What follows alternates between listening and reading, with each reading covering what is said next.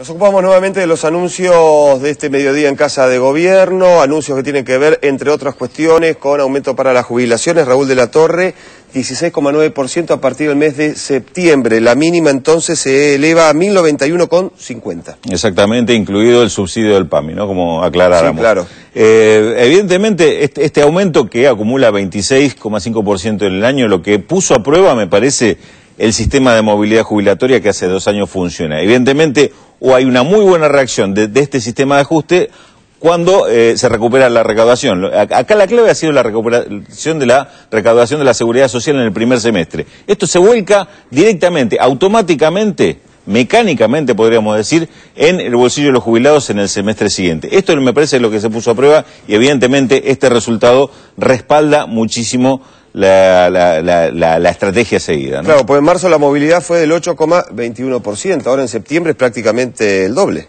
Eh, exactamente, y ten en cuenta que este ajuste se hace sobre el salario eh, a los jubilados ajustado en marzo, es decir, que es acumulativo el aumento. Por eso eh, da más que la suma el aumento al 26,5%. Raúl, otro aumento, si te parece, o querías terminar No, ah, déjame aclarar algo. Si, si uno compara este régimen con el 82% de ajuste automático en la jubilación mínima que está proponiendo la, la oposición, hay que considerar lo siguiente, este ajuste es sobre el total de las jubilaciones, es decir, para cualquier nivel de jubilaciones. El otro es un aumento en el piso simplemente, con lo cual va aplastando la escala. Es, más allá de las cuestiones de sustentabilidad que también son razonables lo que está planteando el gobierno. Pero tengamos en cuenta que uno es un aumento sobre el mínimo que como va atado al, al, aumento del salario mínimo, yo creo que esto hay que tener en cuenta que hubiera condicionado el aumento del salario mínimo. ¿Cuál hubiera sido la situación? Ahora vamos a hablar del, Consejo del Salario. Pero ¿cuál hubiera sido la situación de discusión del salario mínimo si el gobierno hubiera estado comprometido a aumentar el mínimo de jubilaciones a partir de eso? Recordemos que el salario, el Consejo del Salario Mínimo es tripartito, votan tres, eh, empresas, sindicatos y Estado. Si el Estado está en contra de un aumento, asociado a empresa, me parece que esto hubiera congelado el salario mínimo.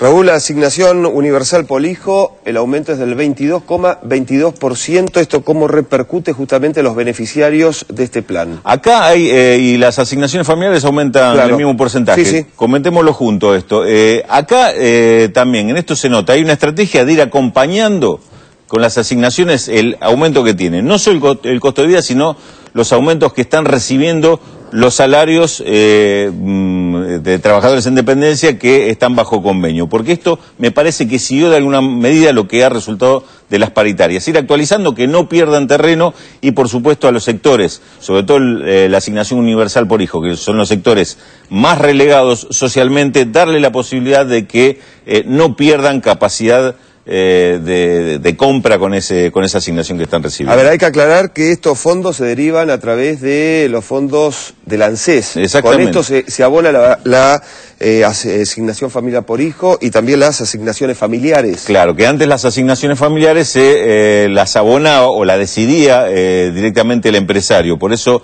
lo que menciona la presidenta en un pasaje de, de su discurso es que con esto se hacían algunas trampas. Es decir, eh, yo empleador, te ponía vos como empleado mío con salario un peso, este, y vos tenías derecho a recibir las asignaciones familiares. Este, en realidad estaba mintiendo, no o, te estaba pagando en negro o no eras empleado.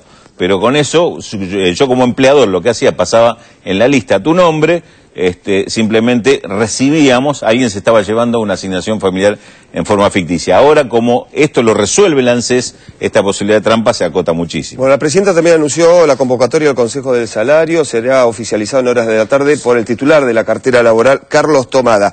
¿Qué va a pasar, digo, eh, a partir de ahora, nuevamente la reunión, como vos decías, de estas tres cuestiones, Estado sindicatos y empresarios. ¿Se va a discutir exactamente qué, Raúl? Eh, ahí lo que se discute anualmente es el nivel del salario mínimo, el salario mínimo que rige para toda la todas las actividades privadas.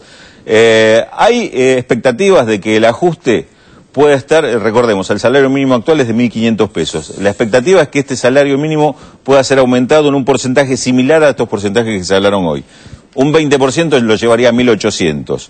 También recordemos que el salario mínimo en los últimos años se fue ajustando escalonadamente. Este es el aumento anual, probablemente este año se repite el mecanismo que esto se dé en dos o tres pasos, es decir, un primer paso que llevaría 1.600 o 1.650 y en un paso siguiente o en dos pasos sucesivos, quizá para el principio del eh, año 2011, llevarlo a 1.800 o una cifra similar. Se espera que la cosa camine por ahí. La diferencia es que este tema, el salario mínimo, lo, paga el sector empresario, el sector empleador. Esto, eh, el resto de los anuncios, sale de, eh, digamos, del Tesoro Nacional, de los recursos públicos. En, este, en esto, Pablo, me parece que también está el otro punto. No hay antecedentes eh, en la historia argentina de que se haya destinado el 57% del presupuesto a pagar estas distintas asignaciones de la seguridad social. Esto es parte de la estrategia política que tiene este gobierno de hacer redistribución de ingresos a partir de la seguridad social para los más viejos o los más estudiosos, si alguno recuerda los primeros peronismos, eh, eh, del 46 al 55, había otras formas de, hacer este, asignaciones sociales, por ejemplo, con los planes de vivienda o, algún otro tipo de asignación más allá de los derechos laborales. Pero en este caso, la seguridad social es un mecanismo inmediato de, asignación de recursos y el Estado lo está utilizando, yo diría en este momento, hasta niveles que eh, pocos podían prever que llegaran tan altos. Gracias, Raúl.